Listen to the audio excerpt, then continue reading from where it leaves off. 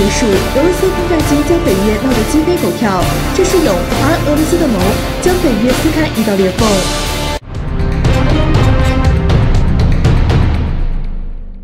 近期，美国在波罗的海和黑海频繁进行针对性演习，明摆着是在俄罗斯家门口秀肌肉。虽然海军是俄罗斯的短板，但战斗民族也并非吃素的。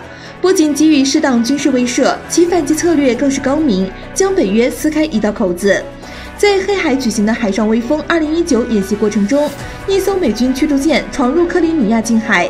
当时，俄罗斯出动搭载实弹的卡尔七直升机，直接从该军舰上空掠过。这一举动相当危险，稍有误判将会导致双方交火。美国也经常在波罗的海挑衅，该海域对俄罗斯有极高的战略意义，也成为了北约和俄罗斯之间的敏感区域。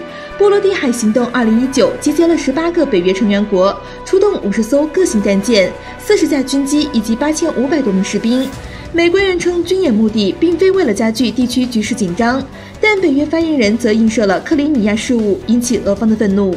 更有意思的是，演习结束后，英国的三艘万吨舰船依旧停留在该海域找存在感。随后，俄海军的巡洋舰、驱逐舰、巡航导弹和潜艇都出现在丹麦海峡，大有围堵之势。同时，两架图幺六零也在波罗的海上空持续巡航七小时，令北约各国大惊。芬兰、丹麦、瑞典等国紧急出动战机进行半飞监视。据芬兰媒体报道称，在苏三五 S 战机护航下，俄罗斯图幺六零轰炸机、A 五零预警机飞越芬兰湾和波罗的海北部上空。同时，俄罗斯发布了巡航视频，并称这是例行公事，整个过程是合法合理的。可以看出，北约抱团时看似铁板一块，分散后根本不堪一击。